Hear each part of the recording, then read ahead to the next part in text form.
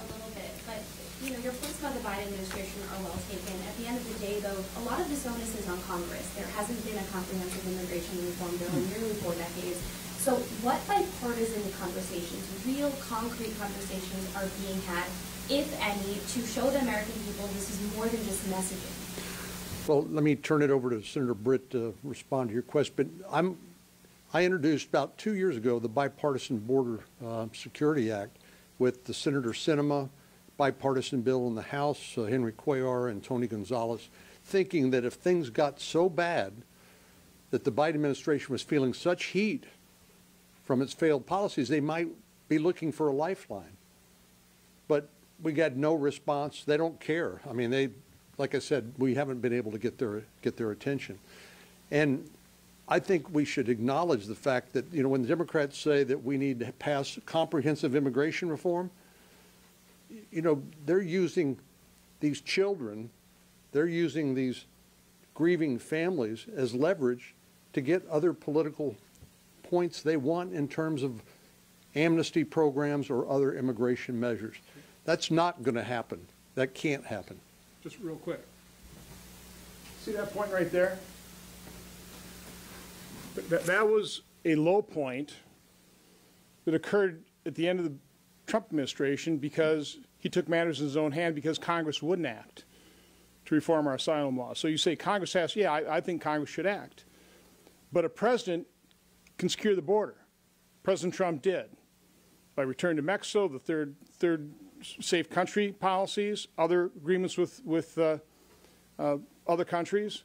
You know, we were building the wall. We immigrants realized, or people coming trying to come to this country illegally, is, is we were serious about securing the borders, and they stopped coming. We pretty well stopped the flow of unaccompanied children, of family units exploiting our laws. We stopped it. It's because we had a president that was serious about securing the border Unfortunately, we have a president in the office now that is not faithfully executing the law and literally is committed to an open border policy. And the results are obvious.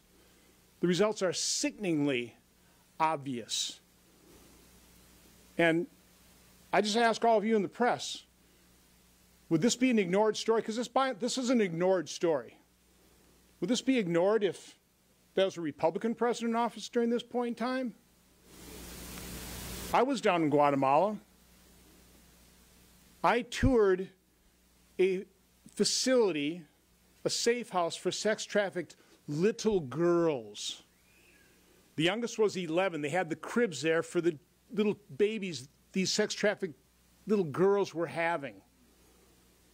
If you can't get angry about that, if you in the media can't get interested enough to report the truth, the depredations occurring they have to be stopped outside of politics. There should be nothing political about this. We, we passed this Secure Fence Act on a, on a bipartisan basis. I think 85 members of the Senate voted for it. And yet now, Democrats refuse to even build the wall that we've already bought and paid for. So a president who's serious about this can fix this problem. He can stop a lot of this trafficking. We have a president right now in office who could care less. The current vice president was on my committee when we heard testimony about a child being sold for $81. She obviously could care less, and you can see the results. Just to add to that, so in 2006, this body passed the Secure Fence Act with 80 votes. We all know that if you have a boat that's taken on water, you, you got to plug the hole, right? Building a barrier and a wall and making sure that we have a way to keep our borders safe is critically important. And the challenge that I really have as I've dug into this issue and really tried to learn is that back in 2006, everybody agreed on that. Of those 80 votes, do you know who voted for the Secure Fence Act? Hillary Clinton, Barack Obama, Chuck Schumer, and guess what? Joe Biden. They are being ruled by the extremes, and they're letting that cloud their vision and doing what's right. What's right is protecting this nation. You know, finish building barriers so that we can make sure that we know who comes here and when and how. so that we take back control, that American laws take back control, not lawlessness, not drug cartels. They're running shot here. They're the ones that are profiting. So I think we have to come to agreement that you got to start somewhere and you got to secure this country um, before you're able to deal with anything else. And that's just the truth. Isn't it ironic that you're asking about passing an additional law as the solution when the administration won't enforce the existing law? Thank you all very much.